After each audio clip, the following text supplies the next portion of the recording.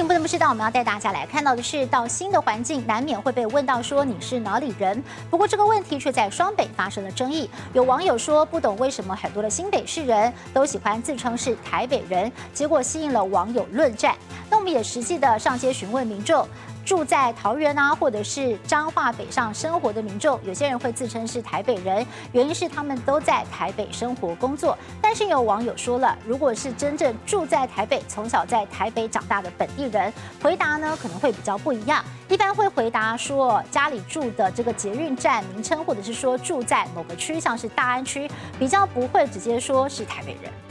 台北和新北因为地域邻近，常被称为双北生活圈。直击台北街头民众被问到你是哪里人，会怎么说？台北。那你呢？台北。台北。台北。哦，新北。我住新店。台北。台北。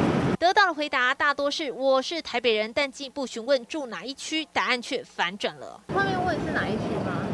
呃，我我是新住新北，他是台北人啊，我是彰化来，我是彰化上来的。原来许多自称台北人的民众，并非真的是台北市民，只是在台北工作。这样的现象就让网友纳闷，剖文文章更掀起大批网友回应：新北不要蹭，还有人说台北县不叫台北人，要叫什么？也有网友喊夹都是台北，不要分这么细。因为新北跟台北都都算台，就是就是北部啊，嗯。两个地方会。变成双北就直接说台北人，他们就说哦，我就台北人呐，因为我在台北上班，在台北工作。我也当他们是台北人，对啊，我也会跟他们说我是台北人。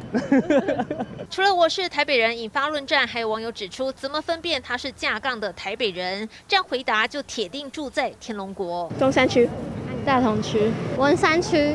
嗯，我也是。以居住区域或是捷运站来回答，这样的答案才是真台北人。只是不管你怎么称呼，大家都是台湾人，不用以县市来区分。我们包容度很高。记者这么道。